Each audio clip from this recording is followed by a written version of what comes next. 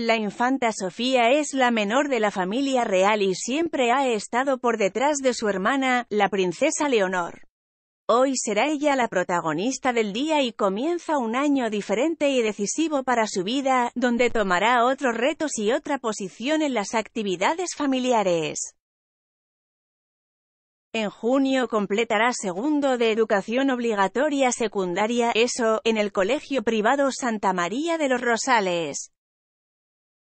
Desde que nacieron, las hijas de los reyes siempre han sido muy unidas, por lo que uno de los hechos que será un gran giro en la vida de Sofía es la ausencia de su hermana Leonor. La princesa de Asturias se marchará pronto a estudiar a un internado de Gales. Será la primera vez que se separen. Además, la princesa Leonor tiene cada vez más protagonismo como la futura heredera al trono, así que Sofía deberá acostumbrarse a que la diferencia entre ellas aumentará. Sin embargo, su participación en la monarquía sigue siendo importante porque en cuanto más crezca, más miradas estarán puestas sobre ella y será una gran representante.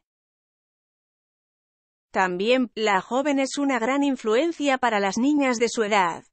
Cada uno de sus looks y estilos impactan en la agenda de la moda adolescente y se ha generado un efecto Sofía, porque las prendas que ha usado se han agotado en las tiendas de ropa.